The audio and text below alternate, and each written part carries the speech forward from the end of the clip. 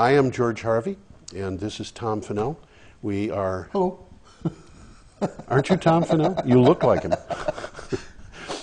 and we are. We have a program called Energy Week, which comes up almost every week. And this week, our our guest is uh, Leslie Sullivan Sachs from Safe and Green, and um, we're talking about energy and global warming. And um, I go through the news um, every day uh, for a couple of hours to put the most important news articles up on a blog. And I make that available for free to anybody who wants to go to geoharvey.wordpress.com and look it up. And um, the result of that is that I have a lot of articles that, that I think are important, and that's what we're talking about in the beginning of this program. So we will start on December 13th. Um, the article in the Long Island Exchange said that there was a critical federal tax in, incentives are about to expire on December 31st, and this is something you should contact congressmen about. There is a there's a uh, operation going on underway in Congress right now to um, get the tax incentives to continue. Uh, the National Wildlife Federation and 230 other organizations have and elected officials have urged the Obama administration to take action to facilitate the development of off- offshore wind in particular. There is enough offshore wind power available to the United States, just offshore wind, just offshore wind, to power the entire country. Well, it's probably mu- much more than that, really. Well, when you add in the other renewable sources, we can more than power our country. So you're talking about what hasn't actually been built yet, but the No, potential? no, the potential for The all of it, including what's been built. But there's been practically none built in this Yeah. country. Uh, next, Well, they're all watching Cape Cod and going, oh my God.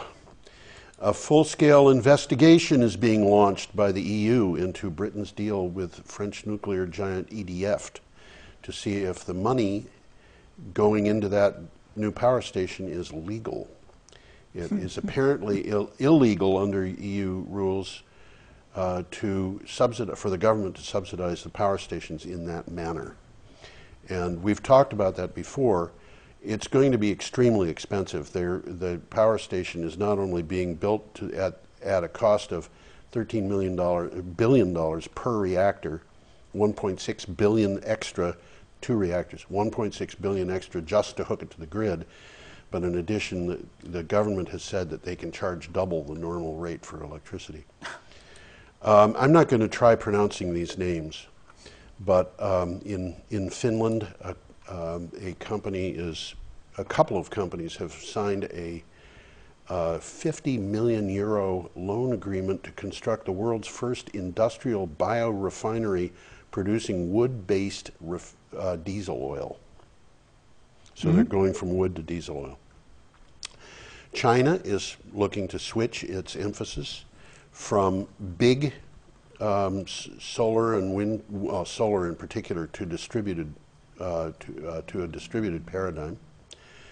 The next day, the 14th, solar panels were installed on more American residential rooftops in the third quarter of 2013 than any other quarter in history, pushing the U.S. installed capacity to over 10 gigawatts, which means that we may actually have more solar in the United States than there is in Germany.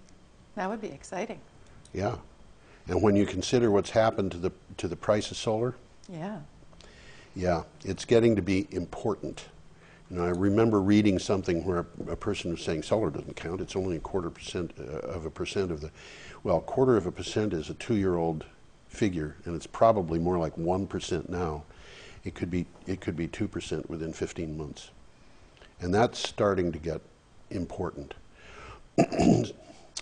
um, Nobel laureate George Olah and Surya Prakash um, hope to use solar power to create methanol efficiently from carbon dioxide and hydrogen. So the carbon dioxide from a power plant can be captured and catalyzed with hydrogen to make methanol, which can be used as a fuel. And they get the hydrogen by electrolysis of water. Probably, but there, there are more and more um, efficient ways of capturing hydrogen coming. as time goes by. Yeah. You know, I mean, the, the Fischer-Tropsch catalysis, which this may be based on, I don't know, goes back to about 1920. So this is old technology, but it's being put together in newer and newer and more efficient ways.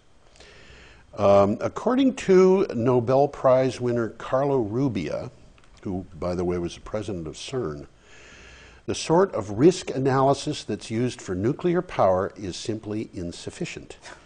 the analysis, uh, analyses are based on probabilities, but the Fukushima disaster showed these calculations simply don't work in the real world. By golly. Imagine that. Imagine that. I, I'm shocked. You're shocked. I thought that was an interesting thing to, for him to say. Okay, on the 15th. This is important. The shale oil revolution will not meet conventional expectations. Uh, this is from a ma- uh, magazine called Resilience. More than 3,500 wells have been drilled in the Haynesville Play, I think it's in Texas, which in 2012 was the top producing shale gas play in the U.S. But it turns out that production is falling at a rate of 47% per year, Wow. even though they continue to drill new wells. The new, they're getting new wells, the production is just falling. Yeah, this, this, this shale is really surprising, they're, they're running dry quickly. They're running dry fast. They're going to hit it. And, you know, I, I read, by the way, that Shell, and I don't know if that was Shell Oil or Royal Dutch Shell or who, just bailed out of shale gas and, and fracking altogether. altogether. And, and they had scheduled a new plant for Louisiana that it was going to cost billions of dollars going from gas, which was abundant, to liquid fuels. And they just said, no, we're not going to do it. So it's interesting to see where that's going to go. But okay, we've got two items that came out on the 15th about cars. The Union of Concerned Scientists says that 42% of current American drivers can use EVs with little change to their driving habits or costly home charging infrastructure. And interest, interestingly enough, EVs are less expensive than ordinary cars and cost about three cents a mile to drive. So you can save a lot of money doing that. But from Clean Technica, we got the additional information that the average f- American family spends about $10,000 a year on transportation, and they can do a lot of that with bicycles. Don't you love it? Clean Technica is an interesting, uh, interesting place. Okay. From the Greenfield Recorder. You know, I look all over the world for news, and here I find this in the Greenfield Recorder. Japan is incapable of safely decommissioning the devastated Fukushima nuclear plant alone and must stitch together an international team for the massive undertaking, but has made only halting process, progress in that direction. I think that's a huge understatement. I think it probably is. I'm, I'm not sure that the international team, regardless of who has it, would be capable of decommissioning the mess they've got over there. Well, they got a huge mess, that's for sure. Oh, unbelievable. And, and the more we find out about it, the worse it appears. Worse it gets. And they don't admit, you don't hear talking about the fact that one of those explosions blew nuclear fuel a mile and a half from the reactors. You don't hear that. You don't hear it, but they found it, and we know it. Yes. And, and I mean, the, the NRC people have admitted it by accident, but one of the things that's interesting about that is that those nuclear pellets are not big, they're small. And the, the amount of energy that would be, that would, that would re, be required to drive one of those, which is not a ballistically uh, uh, efficient shape, it's going to be tumbling and making a mess. It's going to lose half its energy every 100 yards or so. To take it for a mile and a half, you've got to exit that wherever it's coming from, probably at a multiple of the speed of sound. And they're not admitting, they're not admitting where it came from. They're not admit, talking about it, the fact it's there. Soon it will be illegal to talk about it. You think so? Well, According to Japan's new law, oh, yes, you're right about that. yes, You know, this is not a conspiracy theory thing. This is No. actually true. that's right. Yeah, it has. That appeared.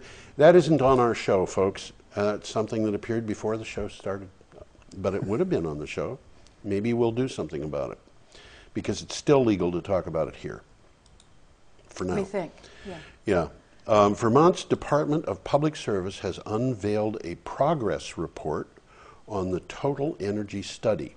That total energy study, in quotes, it's the name of the report, that will, by sometime next summer, lay out a roadmap for supplying the state's energy needs with solar, wind, hydropower, and other renewable technologies. And if you want to get involved in making suggestions on that, I suggest you go to their website. That's the Department of Public Service, and um, and follow the instructions there on how to make comments because there are instructions there. Next, a new report from the Australian Energy Market Operator, which I think must be the equivalent of, the, of ISOs in the United States. This is a very interesting thing to have happen because the Australian government is so hostile to renewable power because they want to push coal. Um, they are forecasting 100% of new power in Australia will be generated from renewables wind at 84%, solar at 13%, and biomass at 3% over the next, I think it was seven years. This is to 2020, but it might have been 10 years. Um, and that, that really is saying a lot because they're, the, the central government is trying to push coal very hard. But, you know, we've mentioned the Tasmanian government wants to go 100% renewable by 2020. Next. In China, the growth of its electric power system is now powered more by renewables than fossil fuels and nuclear combined. And in fact, one of the projections that I saw about nuclear says basically they're not going to build much at all. I've seen a lot of stuff contrary to that, but you know, it's interesting to see the news that's coming out of there. Wind and solar are growing at a great rate while nuclear is barely moving. Uh, So then who is going to, it's going to sell its new teeny weeny little nuclear technologies too. you got me. Yeah. Uh, nuclear is making headway in in countries that are expecting to have um, vast increases in their electric demand, and the and the problem with selling nuclear in those places is that it's going to be much cheaper to supply them with solar. Yeah. It's going to be much faster to supply them with solar. If you order one of those plants and it's built in an assembly line, it's going to have to be delivered. And just the, the business of making the order out and delivering it, you could have three times that much solar installed before it arrives. With an existing technology. With an The existing technology. solar- the small nuclear is still in development. Yeah, small, and so is solar. Yeah. And, and honestly, honestly, I've been looking at solar. I've been thinking that the downward slide in solar is going to stop at about 40 cents a watt. And I'm beginning to think I was wrong. That figure's high. Forty cents is high. Wow. Yeah, that's what I'm figuring. And I'll explain that um, when we go a little bit farther. Um, now, on the 18th, we're up to yesterday already. Man, we're just covering this like mad.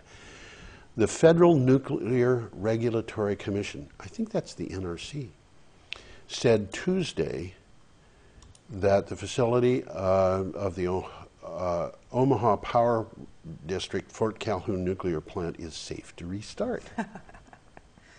safe. Safe. Fort Calhoun is on the Mississippi River, about 20 miles from Omaha, and it has been closed since April of 2011. And uh, they've been doing a lot of work on that plant, but I don't. Safe is a relative term. Um, and we will get back to nuclear, I think. Is Leslie going to talk about nuclear today? A little bit, yes. Okay, this is an interesting one. It's not a, it's not big news. It doesn't didn't surprise me at all, but it is interesting. Several Michigan Republican leaders have formed a conservative group aimed at promoting renewable energy. The Michigan Conservative Energy Forum will push the state to reduce its dependence on coal and increase investment in renewables and in efficiency. And um, that doesn't surprise me because I'm seeing in the news as I as I look at the news and I'm seeing the, the kinds of trends develop. big companies, big companies like General Motors, and of course we know about Google, but big companies have, and, and a lot of the insurance companies, but the bigger insurance companies more than the smaller ones, are getting concerned about global warming, what it's going to cost them, uh, the carbon bubble, the, you know, I mean, there's a bunch of reasons why um, fossil fuels, I think, are, uh, fossil fuels are rapidly approaching the end of their usefulness I think that's very far, true. far more Yeah. quickly than um, than most people, even most people in the industry, realize. Um, again, the the thing about Shell, for example, bailing out on its on its fracking uh, leases and and a, and a contract they had to build a plant in Louisiana for billions of dollars. I think that I think we're going to see some very interesting things happen at the um, stockholders meetings of a bunch of uh, fossil fuel companies next year as a result of that letter that Ceres sent out. Um, the one as saying basically, we need to know how you're going to protect yourself when you're selling fossil fuels in a world in which global warming is becoming a serious problem. And this came from $3 billion, $3 trillion worth of investors. So, okay. That explains why, why you know, conservatives are starting to get on, on the wagon. They've, they should admit that they were beaten there by more liberal colleagues. But the operator of Japan's crippled Fukushima nuclear plant, have you ever heard of that? said on Wednesday that it, it will decommission the remaining two reactors at the plant. I was a little floored by that announcement, I have to say. Yeah. Uh,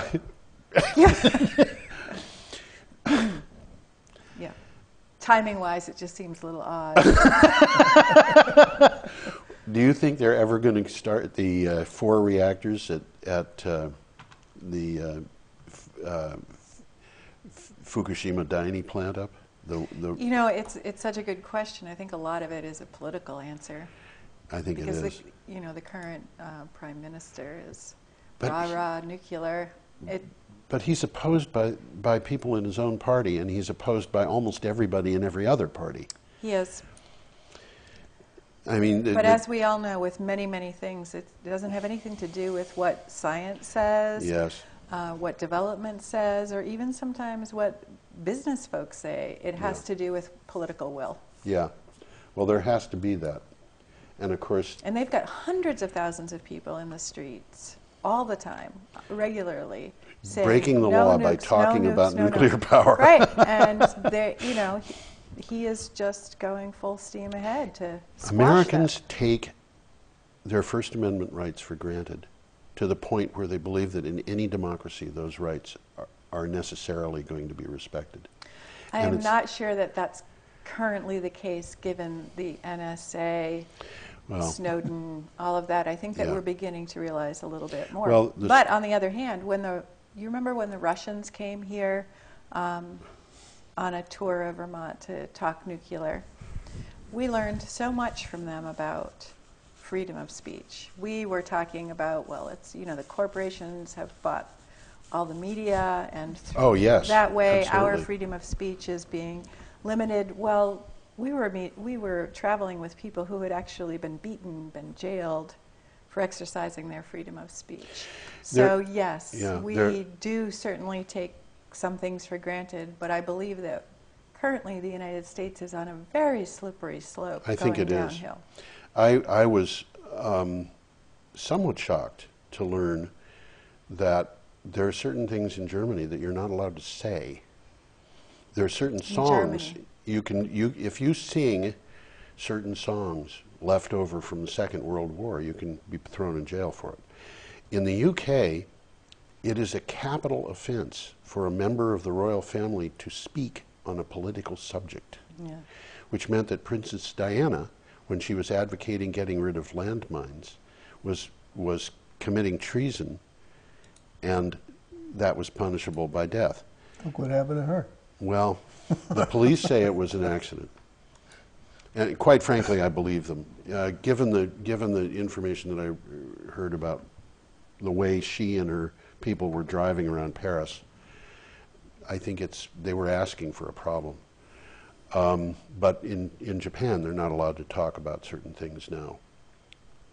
Okay, NOAA, this is the National Oceanic and Aeronautical Administration, reported last month set a heat record as the warmest November of all time since records record keeping began in 1880.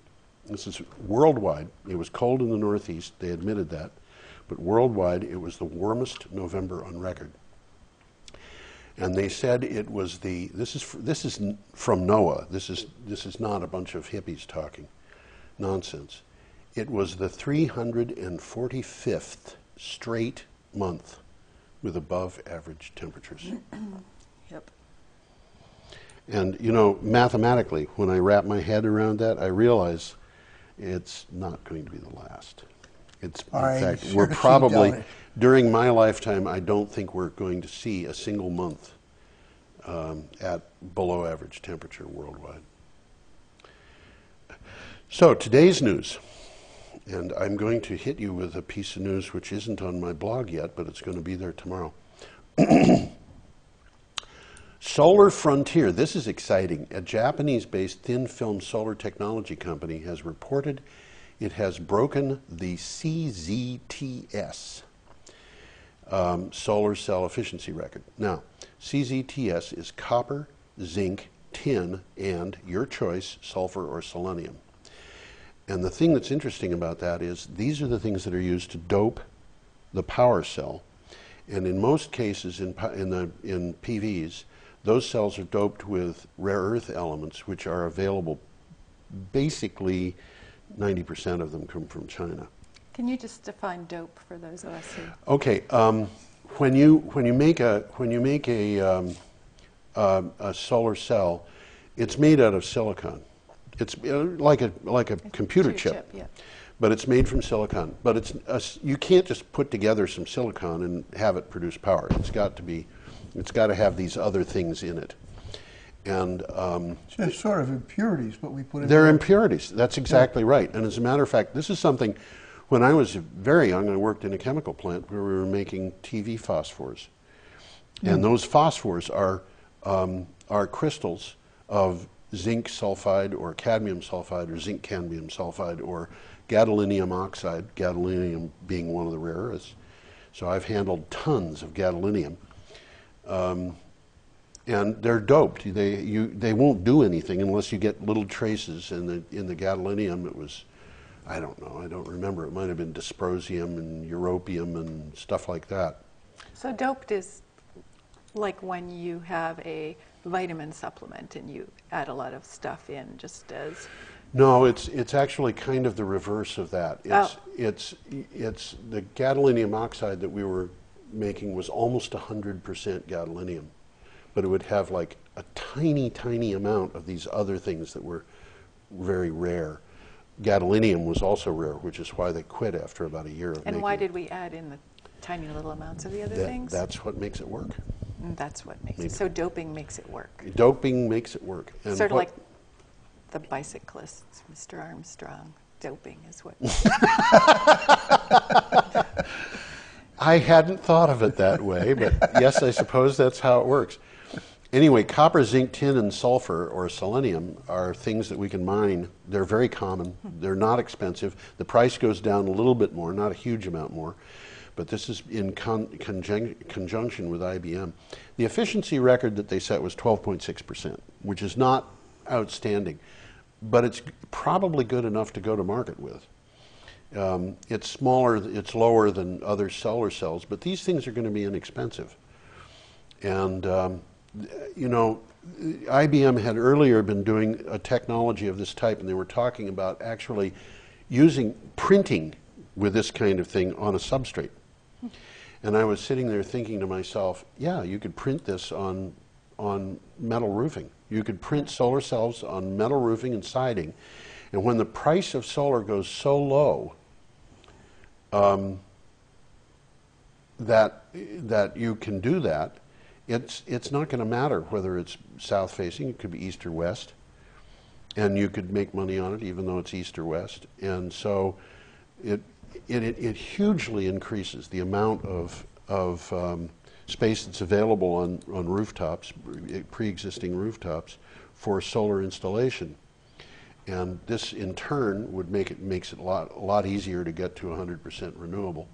I'm just imagining all those standing seam roofs all over Vermont, solarized. Yeah, yeah, yeah. And the cost of putting that in would be so low Yeah. compared to having to put up ground mounts. But even even roof mounts, you've got posts and special hardware that are being put up, and frames and racks, and you name it. Yeah.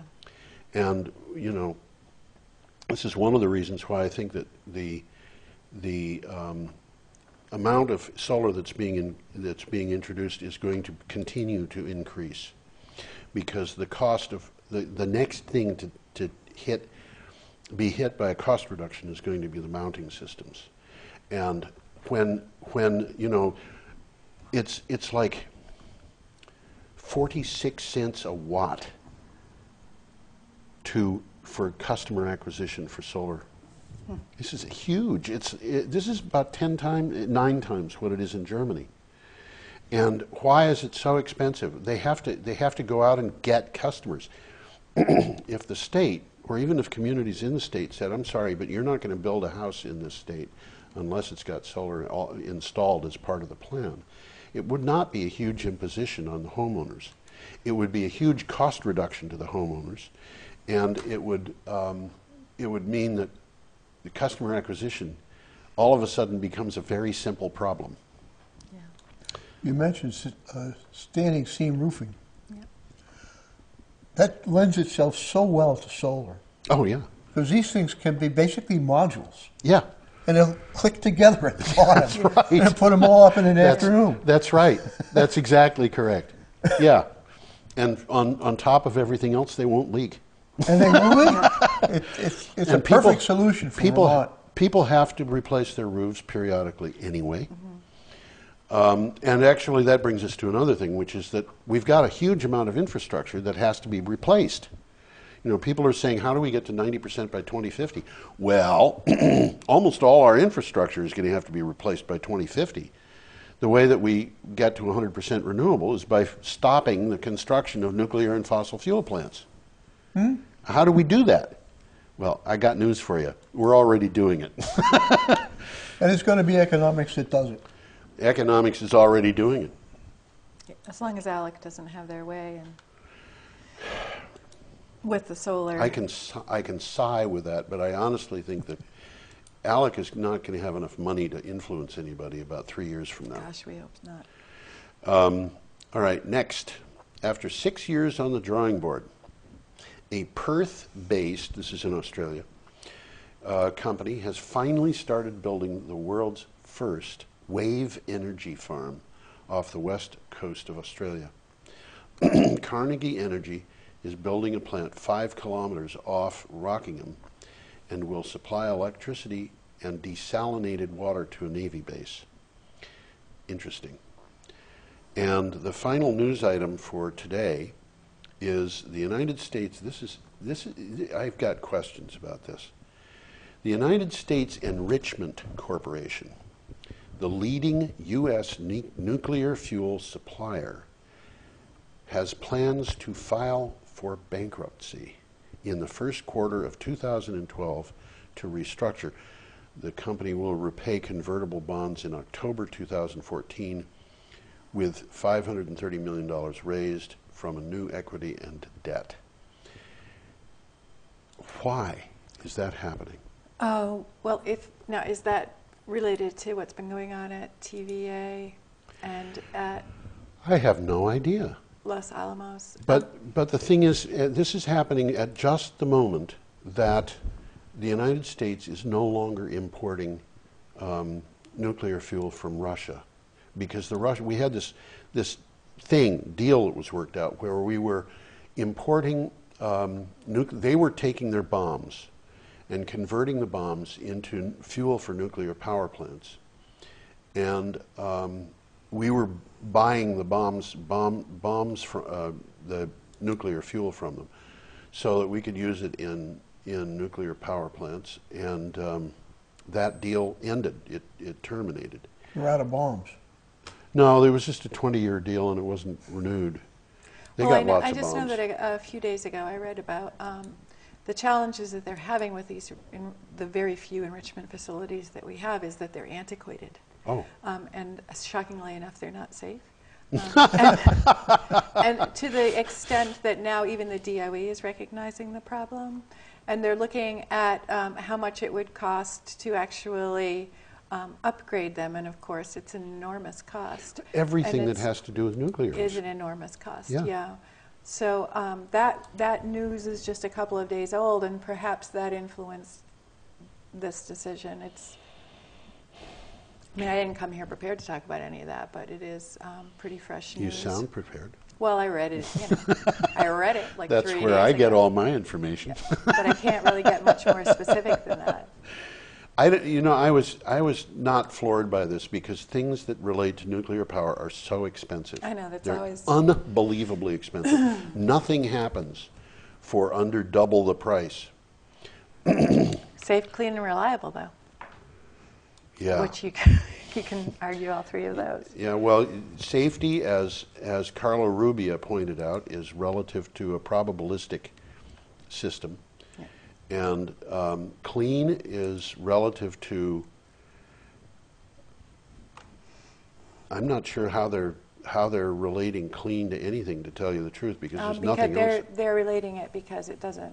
They emit, say emit particulate smoke. right, Yeah, well, you know that's what they say, but, but, they're, on the they're other not hand, looking at the the full whole picture. cycle, right? They're not looking at the tailings that they leave. Yeah. They're not looking at it's it's like And they tweak reliable by just running the things into the ground, so and running them at partial power when they should have and running powered and them down to fix things, running them at ninety percent. Um, or 120 percent. no, I was I was going to say uh, the capacity factor. They run them ninety percent of the time because they're off ten percent of the time for refueling. Where in the rest of the world they're running them eighty percent of the time, which means that they're taking twice as long to refuel them. And how are we doing that in the United States except by rushing? Yeah. And what happens when you rush? yeah. Uh, there are a lot of things to say about that. Anyway, Well, that directly relates to decommissioning Vermont Yankee, actually. it directly relates to decommissioning Vermont Yankee, which is a good place to put this whole discussion into Leslie's ballpark. A segue, very nice segue. So, anyone who's watching this show must know that Entergy Corporation in late August said we're going to turn off the power from Vermont Yankee at the end of the fourth quarter of 2014 when they use up the fuel that they have right now. So, the current argument within the state around nuclear power is how do we decommission this thing um, for a, a cost that is not burdensome for the taxpayers of Vermont? How do we do it safely? Um, and how do we do it using the best technologies available to us? Mhm. And the Safe and Green campaign um, has been uh, focusing on education on decommissioning over the uh, since the announcement came out. We've had a panel, um, we've had internal discussions, we've had meetings, and um, we have sat back and let the state and Entergy um, have these negotiation sessions that have been taking place behind uh, closed Look at the- doors. Oh, there we are. Yeah, this is the Safe and Green website. This is our website. Now, if you go over to where it says resources, there the tab. I don't think I can do that. You can't do that. Oh, we because have you're to just looking look at the whole thing. Yeah, look at the pictures and see see where the resource picture is. Um, well, the if if we were able to, we could go to the resources Let's see tab if I right can there. do it. Let's see if I can do it. There we go. And um, first we have useful links, but the next one down is our decommissioning resources page. All right. Now, I'm going to break in here, Leslie, and I want to ask you, what Well, we is- don't wanna go there. What is the web address for this? so This is safeandgreencampaign.org. And if you don't mind, explain to us what that is. What is the The Safe purpose? and Green Campaign um, is an organization uh, whose members are from within 20 miles of the Vermont Yankee nuclear power plant. And it's focused narrowly on nuclear power and It's Vermont focused Yankee on, and on nuclear power, shutting down Vermont Yankee, um, shutting down Vermont Yankee safely, and also um, on alternatives to nuclear power. Oh, Our, I mean, our main um, thrust has been shutting down Vermont Yankee. Um, and because we're reasonably human beings, we know that you can't just turn some power off, you got to have something to replace it. So, also on our website, we have links to um, Vermont and uh, we're, we're basically Windham County, Franklin County, Massachusetts, and then uh, Cheshire. Cheshire County, New Hampshire. So we have links to different uh, resources within those areas um, to talk about alternatives. So, for example, we have links to um, the town energy committees in each town, and we encourage people to get Good. involved in town energy committees or in transition towns. Good. Um, and then we have a lot of state resources that are on there as good, well. good. This sounds like a good place to go. It's a good place to go, yes, Yeah. if I may say so myself. So these are just um, links there, but if you slide over to, um, we have a whole now uh, page on decommissioning resources that includes links to um, to other organizations that are doing good work on this issue as well. Um, so you could either tab back. Um, if you, uh, We can look at the. top. Sure. Why don't we look at the the handout? Um, on December third, uh, we had a panel on cleaning up Vermont Yankee. We had three presentations, uh, one by Tom Buchanan. He was speaking as an individual, um, but Tom is the chair of the Vermont Yankee Study Committee for the Windham Regional Commission that's been doing excellent work on this issue since 2007. We also had Dr. Marvin Resnikoff, who is with the Radioactive Waste Management Associates, and he's worked all over the country helping communities with um, issues related to uh, radioactive materials. And then we had Deb Katz from the Citizens Awareness Network. Um, Deb Katz isn't from the Citizens. Where, I mean, the Citizens Please, yeah. she's from the world. She said that. yes. But we'll let it we'll let- let it stay at the Citizens Awareness Yeah. Network for the time being. so she she bas- basically got involved when um, the Rowe Yankee plant Yeah. was being decommissioned because she lives in Rowe. Yeah. Um, and she was very active in, in shutting down that plant and learned a lot from it. And now Citizens Awareness Network also works on Indian Point and Vermont Yankee. Um, among other things. Mm-hmm. So Deb was there to offer her perspective as well, and it was an excellent panel. It and it will be on BCTV soon. The Good. invaluable Maria Dominguez was there, taping the whole thing, um, and so we hope to see that here soon. Um, so each of the presentations is available on our um, decommissioning resources website. Tom Buchanan had a PowerPoint that was just amazing. I cannot uh, really um, if you're interested in decommissioning, yeah, go to this one right here. If you're interested in, in decommissioning of uh, Vermont Yankee, his As- website is, is really fabulous. And I took notes on it that are right here, this notes. And then um, if you, at home, you can scroll down and actually go to uh, a PDF of his PowerPoint. And for those of us interested in the issue, it was, it was, I learned so much, even though this is what I do every day. Yeah. Um, so one of the things that he did was he opened with walking us through a schematic of Vermont Yankee. Okay. Going through structure by structure, pretty much. Yeah. Um, so, for example, we know, we know that what Entergy wants to do is use Safe Store. This Yes. is what they keep saying, SAF Store I'm not even calling it safe store because it's not spelled that way. This is like It's Winston Churchill talking about Nazis. Yeah, S A F S T O R. Yeah. And uh, so they would be allowed under NRC rules to take up to 60 years to decommission the plant. Right. And so what that means is their thinking, Entergy's thinking is within, you know, maybe 50 years from now or 54 years from now, they'll start decommissioning um, and to bring it to the end point there of 60 years while they play the stock market with our decommissioning trust fund, waiting for it to grow.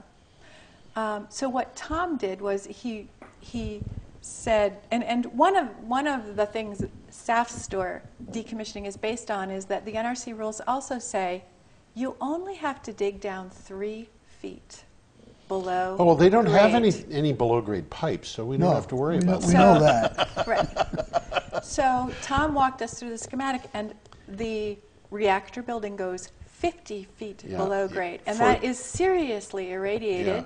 I mean, it's 40. For those who, who don't know, I should, I should point out that the, the big problem was that Entergy personnel were testifying in court in various places under oath that there were no s- s- below-grade pipes.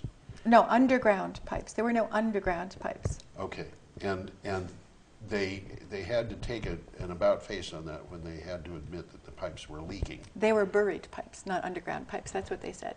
Uh, We have buried pipes. Yes, they're leaking, but they are not underground pipes, they're buried They're buried pipes. So not only do they have pipes running throughout this entire 148 acre site, pretty much, they also have tunnels that are big enough for you and I to stand in, running underneath the whole site. The cooling towers take up a massive amount of space. Those are seriously irradiated because that's where, you know, when they do use them, the water runs. Um, and then in addition to that, they have the um, the uh, pad where they will put the where there are some dry casks now. Um, but basically, so walking through that site virtually with Tom, even though you know intellectually this three feet below is a farce, when you actually look at and, and think about these figures, 300 feet below is where they found tritium leaking. This is a seriously contaminated site. One thing that we really want to do is press for an independent site survey to find out what's there and where it is while the experienced workers are still there. Mhm. Because we can't trust Entergy to tell us what's really going on with the site when they're ready, ready to decommission. Um, and having the experienced workers there for decommissioning, because they're the ones who know, okay, back in 1992, we had this problem behind this sheetrocked wall here, you know, or whatever. You know, they know where all the little fixes have been. Yeah. All of the tubing that's been uh, re-welded, for example, uh, where there might be leaks. Um, it's very important to get the fuel out of the fuel pool that sits on top of that reactor into dry casks. do you have a schedule? For, do you do you know what Entergy wants to do about that? Entergy has been publicly saying um, that they're SAFSTOR.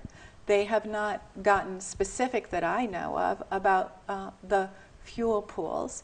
Um, we, there has been debate about what the NRC says, but we went to an NRC hearing in Chelmsford, Massachusetts, and um, the NRC said quite clearly that according to their rules, you can leave the fuel in the fuel pools until you start decommissioning. Entergy has not come out, as far as I know, with a public position on music, moving the spent fuel. Right.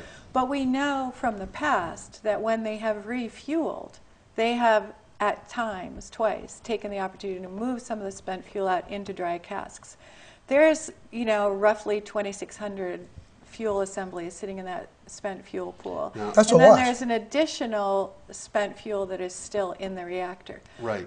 They could turn off the power and then use that opportunity to move a lot of that fuel out of the pool because it's old, old fuel, and it The- the has big cooled down. Yeah, the big bulk of it. They could move it into dry casks as you know whenever they want. They could you know do it in a couple days if they Um, had the technology to you know the people lined up to do that. So that's one of the things that could start happening now. So Safe and Green has um, sat back. We've let these negotiations continue behind closed doors from the state. The state has now come out publicly and said we haven't reached an agreement. The Public Service Board can go ahead and make its decision on a certificate of public good. And what the um, Safe and Green campaign is doing is starting up a town meeting campaign, um, essentially to let so that towns across Vermont can let their representatives and senators know, can let the governor know, and let the regulators know uh, where we stand. Um, we had a very successful um, campaign in 2009 with Dan DeWalt, um, with about 50 towns involved. Um, we had, um, you know, I think it was 30, 35 towns that voted, um, that didn't table the resolution, that voted to actually say yes, and that, that this contributed greatly to the um, legislators' decision in 2010 um, to vote on the issue. So we're um, starting up soon. A it's still in draft form, but we're starting a uh, town meeting day campaign. And essentially, what we're doing is asking voters shall the town um, ensure, advise the Vermont legislature, governor, and any relevant regulatory bodies to ensure the safe and prompt decontamination and restoration of the Vermont Yankee site in Vernon, ensure that upon closure, Entergy Corporation moves spent fuel from the pool to on site dry cask storage, and ensure the long term containment and safeguarding of all the spent fuel, and ensure that the Entergy Corporation of Louisiana fulfills its pledge, which it made in the sale agreement, to fully fund the costs of cleanup and restoration of the Vermont Yankee site. When they bought the reactor, they basically bought the decommissioning fund. That decommissioning fund was creating using our ratepayer dollars. We put into that fund for 30 years. Mm-hmm. They haven't put a cent in since they bought the plant. That, I They- think, is significant. It tells you something about their attitude. Absolutely. But what they have done is created these paper limited liability corporations. That also tells you something about their attitude. Exactly. So, today we've got roughly $600 million in the fund. Entergy says that that's not enough to clean it up. We all know that's not enough to clean it up. Um, but they haven't put a dime in there. They have the Entergy Corporation of Louisiana, which is, you know, basically home base, the mothership. Then there is Entergy Nuclear Vermont Yankee, which is a paper corporation with a board of directors and Who the get paid. and who get paid and the decommissioning fund. That's basically what NV is. Then we have Entergy Nuclear Operations, which actually runs the plant. All three of them are carefully protected from each other. Yeah. But essentially, Envy, for example, could just declare bankruptcy and fold up shop mm-hmm. and leave the ratepayers of Vermont or the taxpayers of Vermont to fund Well, decommissioning. It's one- a possibility. Yeah, one of the things that bothers me about this is Entergy Corporation, about six months ago, gave their, their business plan for the next 20 years. And they said, we're going, we're, we are going to do, do what always made money in the past. We're, we're going to continue doing what we know how to do. We're going to sell power that comes from nuclear, um, gas, and coal. Yeah. Now, the nuclear industry is, I believe, quite frankly, I'll be surprised if there's ever another nuclear plant put up in the United States, with the exception possibly of that. A Vogtle in Georgia, perhaps. No, I don't think that's going to happen. You don't think that's going to happen? But I think they may put up one or two of those, of those small plants Mhm, As test cases. as test Yeah. cases. But the cost of nuclear power is so high that it's prohibitive. And even the people in Georgia are going to figure that out at some point. Well, I think that really the crux of the issue here is that Entergy makes bad business decisions. Exactly. And we should not be held liable or for be held responsible decisions. for their decisions. Exactly. They should be held And- accountable for and those. What I'm expecting is that starting next year, early, the fossil fuel industry is going to become more and more obviously in trouble. And I, I think the value of fossil fuel stock is going to go down. They've got a, excuse me, they've got a, a series of, of problems. People are investing as much money in efficiency as they are in renewables. Oh, yeah. And that means that even though the population is increasing and, the, and, and productivity is increasing, the demand for electricity is declining. The traditional utilities who are providing that electricity in a declining market are being competed with by young upstart organizations that are selling power cheaper power from wind farms in Texas is being sold for 2.5 cents per kilowatt hour. Well, even other nuclear corporations, massive nuclear corporations such as Exelon. Yeah. Exelon has said, we're not doing any more new nuclear at all. Right. We are investing in wind. Right. Entergy Corporation is, is actually even behind the ball compared to the other Right. nuclear It- power it is the corporations out One there. of the most conservative out there in terms of its business plan. Right. And, and the next thing is coal. Are you kidding? oh, I know. It's just, yeah. And natural gas. Well, natural gas plants may, may look like they've got some kind of future, but in fact, I'm sorry, it's not going to happen. Well, you can Bec- see the, it's, you know, whoop, Well, it's already this thing that starting we to- read earlier today about that, that, Yeah. that field in Texas tells you the story. Yeah. The price of natural gas is going to go up, and it's going to go up very soon. And when it does, with the price of wind, you know, when, when Vermont was, was in such a good position because of Vermont Yankee supplying cheap power, it was 3.5 cents per kilowatt hour. That was years ago. That was years ago, yeah. When they wanted to up the negotiation on that, they wanted to offer us power at what they thought was going to be a price we couldn't refuse, which was 6.5 cents per kilowatt hour, except half the power they gave us was not going to be at that price, it was going to be at market, market price. Well, they came up the night before the Senate vote and tried to bribe us, too, with No. supposedly a good rate. a good rate, Yeah. which was very, very, very high compared to rates from wind power in Texas right now. Yeah. And we can get that kind of rate in Vermont from, from nearby places. It doesn't have to come from Texas. And we can keep the money in the state. We've got lots and lots of reasons to do that, but every state does.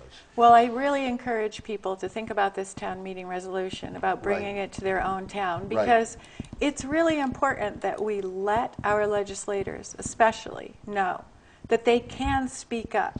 They can They've already up. been told they can't talk about safety. Fine, this is They about money. They all don't right? have to talk about this safety. This is about money. We've Anybody, got great reasons We've not got many, many reasons. And we really want the taxpayers and the ratepayers of Vermont to be protected. We should not have to clean up Yeah. after their poor, Poor poor, decision-making. decision making. Yeah. And we, I mean, some of the, so many of the things that we talked about in the first half hour of this show, Yeah. you know, clearly. But it is also tied into two other issues. One is the entire company, um, country, I'm sorry, the entire country watches what happens in Vermont Oh, sure in terms does. of nuclear power, in part because of the citizens' voice through the legislature. And we send a message every time our legislators zip their lips or every time we step back. So we need to be proactive here. This is the first time a merchant plant is going to be decommissioned. Kewaunee is going to be decommissioned, but it's in a political climate that is totally dead and supportive of nuclear, and they're not going to do anything.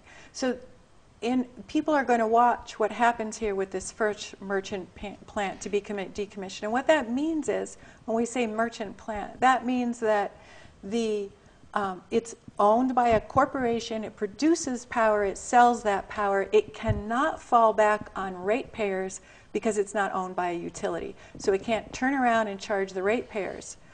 Um, the other thing that's really important about um, this happening now is the role of corporations in democracy in America, and that it is imperative in Vermont if we want to hold on to that precious thing called democracy, which is, you know, we're one of the last places where it supposedly thrives. We have to use it. We have to make our voices heard. Town hall meetings are one way of doing that. Energy is one of the most important issues facing America today. And it's always been key in Vermont. Vermonters have always educated themselves about energy issues, and they've one of the few places where people actually follow energy regulations. Mm-hmm. So please, please contact the Self Safe and Green campaign if you're interested in bringing this to your town I, meeting. I want to point out, people's voices, when they support something like this, are far more important than they realize. When, when an ordinary citizen picks up an issue and starts talking about it, the ramifications are not limited to the town. No. They're not limited even to the state, as you pointed out, they're nationwide, they're worldwide. I, one of the things that I've, you know, I've been doing my blog for three years, I've been doing it on the internet for a year and a half, and one of the things that I saw when people were actively opposing Vermont Yankee was that it was having effect in Africa. And, you know, the, the people in Africa, people in India, people in, in, in um, Japan were looking at Vermont Yankee, looking at the attitude of the people in Vermont and saying, what's wrong? What is wrong with this picture? yes. And, and the effect of it, it was, was, I think, possibly important. And now, there's not a lot of news coming out of Vermont about Vermont Yan- Yankee Yeah, anymore. yeah. But it is an important issue. It's a very, it's actually, I think the decommissioning is like as important an issue of as any related It to nuclear power. probably the most because it's the one that's going to affect our children, our children's children, our children's children's children, especially since we don't have a national repository. Right. But like w- what you were saying, since I've been working on this issue, and just in the past three years, I've had visitors um, come to Vermont to learn from us from Russia, Yeah. from Japan, from Germany. Um, we've got a man coming from India Mm-hmm. soon. Um, it, you're, you're absolutely right. There are people all over the country watching what Vermont is doing. Now, I'm mean, all over the world I'm gonna have watching what Vermont is here, doing. Leslie, for just a second. You bet. Um, we're coming to the end of the show's hour. And that means that the, the um, broadcast version of this is going to end at this point. I want to tell everybody, thank you for watching, I want to, I want you to know that there, this is not, there is not going to be a show uh, taped next Thursday. Uh, it's the day after Christmas. There will be a show, as I understand it, taped the, the uh, following Thursday, which is the day after New Year's. So we're going to say goodbye now for, uh, for uh, two weeks. but for those people who are going to be watching this um, on the internet, we're going to keep talking. And we'll just keep talking as long as we feel like talking. So I'm told that we have to be out of here by noon or something. I don't know, but afternoon. They'll start bringing things They'll up here. start They'll- bringing They have things up. subtle ways of, of letting us know, But anyway. like dropping trays full of food and stuff. Yeah. Thank you for watching to everyone. Um, and we will c- continue. Now, um, Leslie, So can I put in a few points about Absolutely, this? do Just important things. Uh, if people want to bring um, a petition to their select board to have it on the warning for town meeting, um, then you need to, if your town is having your town meeting on the traditional town meeting day, you need to get um, 5% of the voters of your town to sign a petition by January 23rd. Essentially, you need to have a petition um, with all the necessary signatures to your town clerk 40 days before the town meeting is being held. So By they the way, have the time to petition's get up it on into the warning. screen. That's a sample petition. Now, for in Brattleboro, for example, we need 600 signatures. we need 600 signatures, but because we don't actually have a real town meeting where we stand around Right. and talk about it, um, it has to be on the Australian ballot.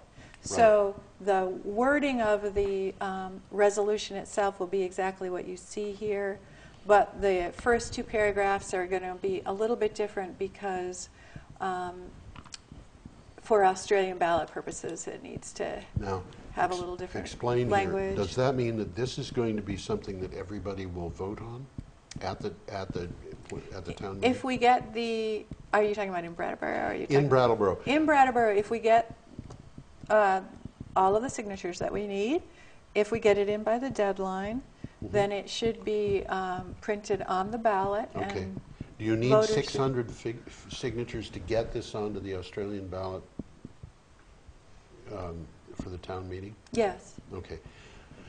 Okay, the reason I'm asking, of course, is because in Brattleboro, we have the town meeting, which is really a day that the voters go in and and vote, just like they do. Yeah. in- And then there's the representative town. That's correct, yeah. That comes later. Yeah. So this No, would we not want be it coming on- up in the rep- representative. no, we town want it on the town meeting ballot, I think day that's a good ballot. idea. Yeah. So everybody can vote on it. meeting. Yeah, so everybody can vote. On. And So- basically, we'll have um, a, uh, you know, we got like a month to get it together. We were just sitting back waiting for the state, but they couldn't come to an agreement.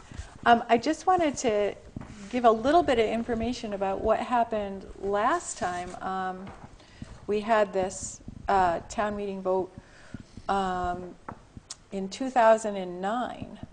Um, let's see, I have the Brattleboro numbers here. It was pretty astonishing. In Brattleboro, residents voted 1,097 to 438 to deny license extension. So this is when they were asking for 20 more years, which they ended up getting. To deny and to make the company pay for decommissioning. We had almost exactly the same language on there mm-hmm. that they should pay for the decommissioning, not taxpayers. And to use renewable energy, other power sources, and conservation to make up for the loss of power from the nuke. So in Brattleboro, twice as many people voted against Vermont Yankee. Twice than- as More many. More than twice. More than twice. Yep. That's Um, impressive.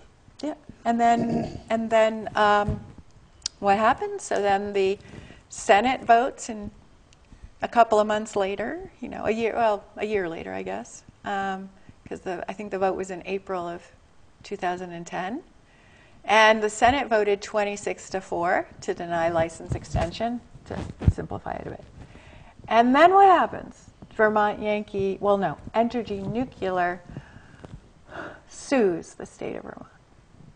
How many times have they sued us in the last? I don't know. You know, I, I lost track. I don't know, they're, they're clearly not, uh, they're clearly not bent on being a good neighbor. They're not, and they're not trustworthy, and that's one of the real worries for, between the fact that they have shown that they make poor financial decisions in the past, mm-hmm. that they're making poor financial decisions about their own future, mm-hmm. and that they're betting the decommissioning fund in the stock market.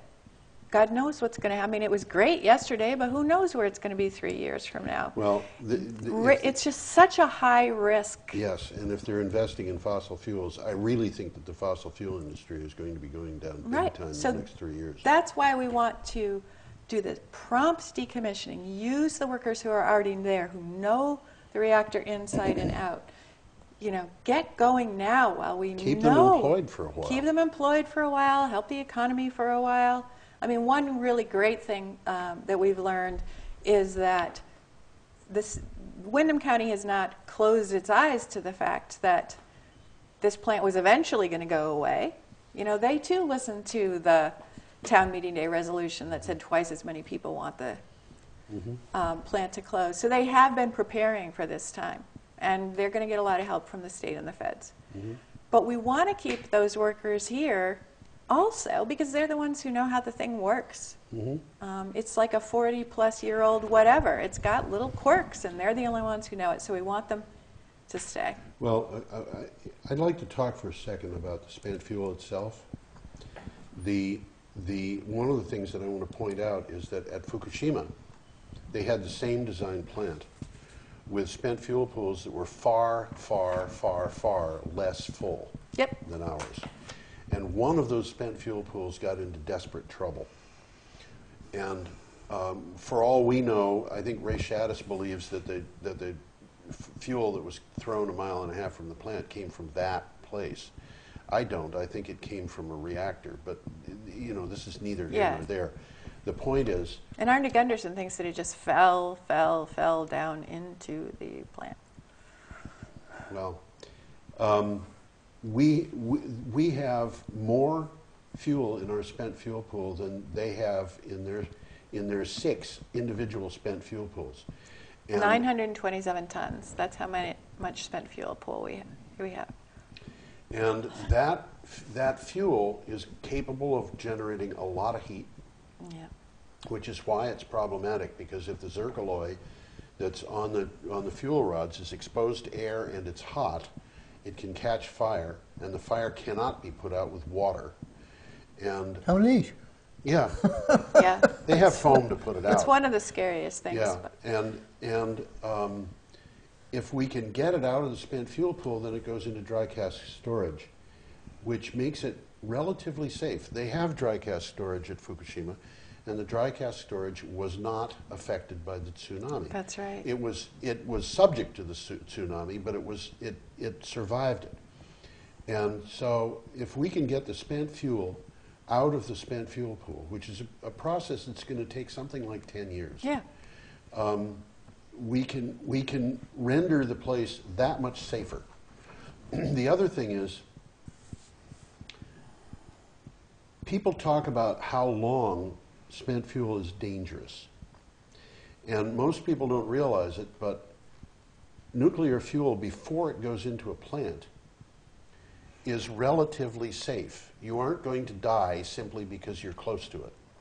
You may, you may pick up a, a stray neutron or something that will, will do damage to you, and maybe it'll kill you eventually, but it's not likely. But when the pool, when the, when the fuel has been in the plant and it's reacted, a percentage of the uranium has been turned into really, really, really dangerous daughter nuclides with short Yeah. lives, then they will be rendered fairly safe in about 300, 500 years. When But- we had when we had our panel, um, Dr. Marvin Resnikoff Mm-hmm. um, did a slideshow, which we have on our, our you can access it through our Okay. website, and he has some really interesting graphs on there of, you know, different um, materials. Yes. And how long um, their half lives Yeah. are in the radio, and, and a nice graph there. Um, and he's also got some some good uh, charts on there specifically about what's in the fuel pool at Vermont Yankee and um, how long he thinks it is for those uh, materials before they can be worked on safely. Yeah. Now, plutonium is an interesting substance. There's Yeah. a lot of And it's a, it's a, it's a product that can, is going to be in that fuel. And I had a friend when I was young who was a, who was a very fine scientist. He was one of the best toxicologists in the United States. And he told me that the amount of plutonium, and of course the population of the world was half then what it is now, but the amount of plutonium that it would take to kill the entire population of the world of human beings, if it were distributed to the human beings directly, would be something on the order of one and a half kilos. it's not very much. Not very much. No. That's heavy about- though. yeah. it's it's about it, it would be about four pounds, and we've we've got enough plutonium in there that even when the when the relatively short-term nuclides are rendered safe, the the long-term ones are going to be dangerous. Yeah. Do you have any i- idea how long those are going to be dangerous? No, it's like hundreds of thousands of years, though, isn't it? Yeah, it's hundreds. Hundreds of thousands of years. It's I, I just- brought something. You know, I've, I've shown, I've done this before, but I think Leslie should be subjected to it. uh, I'm wondering where it is. Gonna pull a rabbit out of his Here hat. we've, we've got um, a little chart here um, Money? that's radioactive concentrations, radionucleotides to clean up, and their natural rate of decay. Uh-huh. Um, so, yeah, the one that Sorry. the cesium, cesium 137 and strontium 90 are the ones that are creating the most problems in Fukushima right now, all over the country, including in Tokyo. They're just like little spots of it, hither and yon. Pass that down to Leslie. I don't know. Do I want to touch it? Yes, it's Yeah, okay. you can touch that. I'm just kidding. I'm not one of these people who's. That's a particularly nice one. That Yeah, is what a is really it, nice one. Do I need to get much better magnification of my glasses? You won't be able to read it. it. You won't be able to read it. It- right. You, you have to know how to read the inscriptions on that stuff. That coin is about 1,700 years old. Oh, yeah. And, you know, here is a guy who was an emperor of the of the Roman Empire. And this is really nice because it's nice and round. Yeah. And sharp. It almost looks new.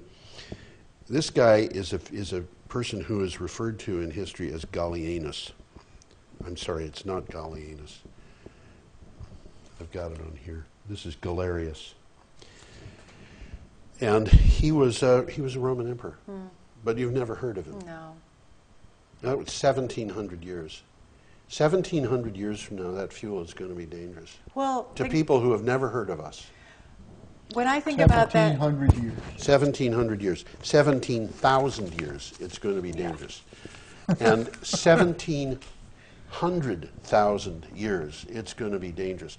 The Italians, who have some very interesting things that they have done through history, very impressive society, have a figure on the amount of time that it takes for nuclear waste to become safe. Mm-hmm.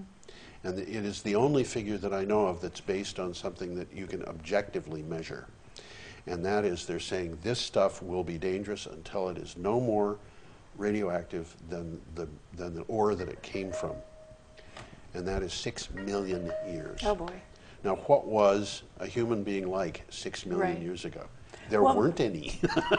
What I think of when I think of radioactive waste, and I and also I think of how do we communicate to future generations that this is really bad stuff. yeah. Um, I was in the Yucatan in Mexico. Um, I don't remember if it was in Tulum or where, but it was one of the um, sacred sites in Mexico. And I was in a, um, a chamber that was underground ish, and it had um, different kinds of hieroglyphics and paintings on the walls. And to this day, no one has figured out what they meant.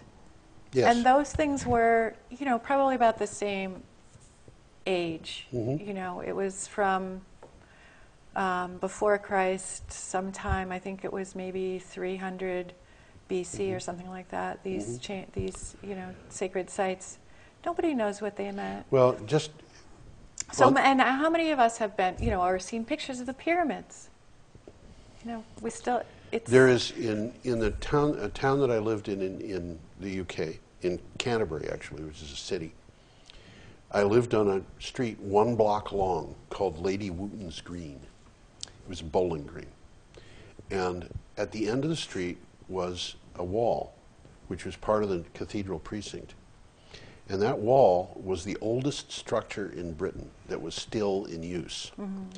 And it was, the, as I'm, I'm told, the only Roman structure that was still in use. It had a gate that dated to about the time that this coin was minted. One structure. yeah. And if you look at the history of the Alexandrian Library, they had a one and a half million volumes in the library. And a volume was a scroll, so it was about a tenth of a normal sized current book. But one and a half million volumes burned in the worst burning of the library. And that would be about 150,000 different books. Today, the number of books that we have from that period is probably not more than 500 if you combine Latin and Greek together. And that means that we've got less than 1% of the literature that was at that one library. How do you retain, even if you can retain the language, mm-hmm. which might be done 2,000 years from now, how do you retain the information? Well, You- there- and- there's and no with- guarantee. There's no guarantee, and with nuclear power, it's it's not like you can leave a manual around on how to make this thing work. I mean, I worked with Paul Blanch, Yes. who is a whistleblower, Yes. a retired, not by choice, retired nuclear engineer, Mm-hmm. worked on a lot of plants, and uh, he wrote a, a piece on um, the NRC and safety culture at nuclear plants. And essentially, what's happening is that everything has gotten so complicated for these individual reactors that even the personnel who are at the reactors don't really have um, a, a way of systematically uh, researching um, issues happening at their own reactors. and how they relate to NRC rules and regulations. It's because um, you cannot take a cookie cutter approach to this particular industry. You can't take a cookie cutter really uh, approach to anything. To anything, But and anything that's gotten- complicated and requires safety. Right, and it's gotten so complex, and because these reactors were not built to be used, they were not designed to be used past 40 years. So these reactors are being used past their design life, and the they have um, just Vermont Yankee, for example. You know how many different changes have had to been made in the design over the years because it was a brand new technology Well, when it was built. it- so it's it's an almost impossible situation. And so when things go wrong, what they do is they blame the workers. And that's under this safety culture. They're saying this, you know, because the workers don't have the tools available to them to keep up.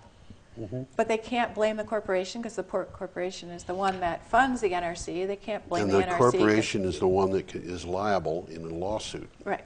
Well, and the other thing that's going on with the NRC right now that just I don't think people are aware of um, is that the NRC um, is not answerable to the Department of Energy or any other. They they stand alone. The Nuclear Regulatory Commission.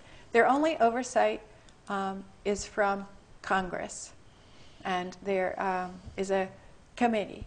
Um, there, and so they're supposed to check in with the committee. The committee's supposed to check in with them. And if you look and you see who's on the committee, it's a, a whole lot of pro-nuclear um, senators or representatives, and then a couple of people like Barbara Boxer and um, Bernie Sanders. Yeah. So the NRC decided to change its rules about wh- who on these committees had access to information from the NRC. They didn't go to Congress and say, we want to change the rules. They just changed the rules. So it used to be that if you had, if you were a congressman and you had a um, nuclear reactor in your home state, you could go to the NRC and ask for information. If you were on one of these oversight committees, just a member of the committee, you could go to the NRC and ask for the information. They changed the rules. Now, only if you are the chair of an oversight committee or a ranking member, so that's two people, of the oversight committee, can you go and ask for information. They took, Barbara Boxer sent her people to get some information on San Onofre, which is in her home district. And her, her staff was not only denied the information, but they were told that they could be searched on their way out of the building to make sure they hadn't snuck out any of the information. the, NR you know, Like the they- Indian diplomat. yeah, exactly. It's like such arrogance, incredible arrogance. And, you know, the other thing that's happened recently with the NRC and Congress is that um, the state of Vermont and some of the citizens advocacy groups, including CAN, um, said, We're worried about finances here with Entergy Corporation. Um, they filed a petition with the NRC asking the NRC to look at Entergy's finances. The NRC, shockingly, shockingly, said, gee, you're right, we're worried about them too. We will accept your petition and we will look at their finances. So um, the NRC goes to Entergy and says, we want to look at your finances. Entergy sends senior executives to the NRC commissioners, not the staff, but to the commissioners and says, We're not opening our books to you. You can't ask us for any information about finances. We're hmm. saying no, and we never want to get this question again. Thank you, goodbye. The commissioners turn around to the staff, say, Stop asking our corporations about their finances. That's the end Well, of that. I, honestly, I think Entergy is in serious, serious trouble. I mean, they are acting kind of like desperate And- characters here. But but their they have their business plan is. I mean, It's not sustainable. Mary Powell, who is the, I guess G- she's the C- CEO of GMP, Yeah. said the job of the, of the, of the uh, utilities now is to come up with a new business plan in light of the fact that the world is changing. It's a changing pla- place. Entergy is acting like a dinosaur that wants Yeah. to stay being a dinosaur. Yeah. And it, it is, sh- it's really, it does not bode well for the decommissioning problem.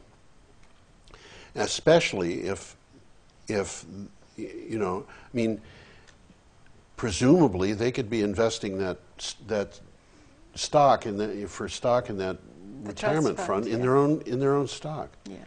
And that would be, um, I mean, it, it would probably be a conflict of interest, but I'm not sure, I'm not sure what the rules are on that. I don't know. I don't know either. I just know that with a lot of other businesses, if the business is floundering because it's a dinosaur and it's making poor decisions and it doesn't mm-hmm. have forward thinking people and it doesn't change with the times, mm-hmm.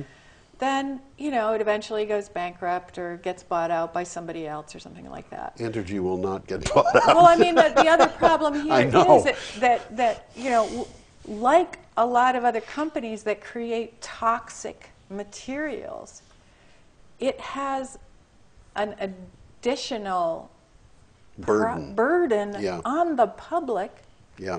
on the environment, on public health, when these companies make bad decisions and go under. And the, the fear of, of the environmentalists and the anti-nuclear people in Vermont is that if, if the plant is not properly de- decommissioned and the fund is gone, and I mean, one of the things that I pointed out in an earlier show was that if you had a mark coin in 1914 and you went to a, to a, got it converted into U.S. money and took it to a post office, you'd get eight postage stamps. But by 1922, inflation had been so bad that you would not be able to buy a postage stamp with 100 million marks. Yeah. And there's no law that says that's not going to happen in the United States. Right. And so we don't know what's going to happen. A stock market crash could destroy that fund. Yeah. Inflation could destroy that fund. Entergy going broke, making bad business decisions. Yeah, I, I think when you say anti-nuclear activists, environmentalists have this concern, I don't think it's limited to us. I think the, you know, except for a few um, very reactionary businesses in Vermont, the business community in Vermont also is very concerned. Concerned? I am sure Mary Powell is very concerned. Concerned that we will have to foot the bill Right. for decommissioning Vermont Yankee. For pure business reasons. For pure business reasons. yeah. And the, the, the particular concern that I have is that Entergy is digging itself a hole by refusing to look at the future. That is a very big hole for them to fall into. Yeah. And I honestly don't think they're going to survive it. You know, and they'd have such great opportunity here. There was a, a nuclear power plant in California, Rancho Seco, and it uh, was decommissioned over time. It started promptly, and um, it now has solar panels um, sitting there on the site. Now imagine that 148 acres at Vermont Yankee. It's not a very large footprint, but and you probably don't want to have um, a business there where you've got people coming and going and coming and going and coming and going. Mm-hmm. But hopefully it'll be cleaned up so it's safe enough for a Solar crew to go in, Yeah. build a bunch of solar panels Yeah. right there next to Velco's um, transmission lines Yes. that have recently been upgraded. Yes. You know, we want something there. Yes. can- and just think about that right next to the river. Well, you're, you're, you're totally right there. We want something, I think we need something We need there. something there, yeah. But uh, it isn't going to be just solar panels. I, I did the math.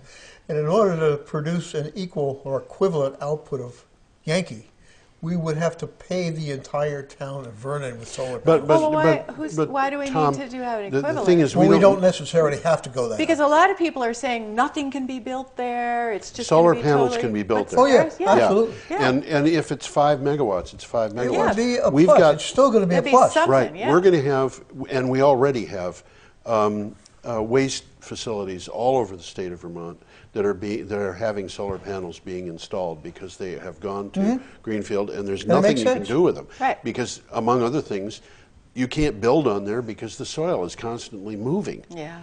And so you, you even have a special consideration for how do you get the solar panels in so that they will not move. The thing is, though, that the site's still going to be owned by Entergy. And since they're not branching into solar, Solar. power, I mean, it's not like we, it's not like the site gets cleaned up and it's the state of Vermont's or the town of Vernon's. That land is still owned by And Entergy. actually, the land, as I understand it, is licensed to have a second nuclear reactor. Yeah, yeah, yeah. That's what Although people that's say. That that is not. That was argued a lot prior to the Senate vote, um, and my memory of that time is that research was done, Mm-hmm. and that um, it would. You would need to start from scratch. It's not a pre-approved. They would need to go through the entire public service report process. Blah Yeah. blah blah blah blah blah. Yeah. blah. It, it's it's not like Entergy You can just dump a nuclear power plant. No, they can't. They would have to go And through. would you, if No. you were Entergy, would you want to come back to the state of Vermont? No, I don't think so. I mean, like, if I were them, I mean, like, As a matter of fact, you know, clean it up, sell the site, Right. get out of town, because we've been nothing but trouble to them. well, Thank you.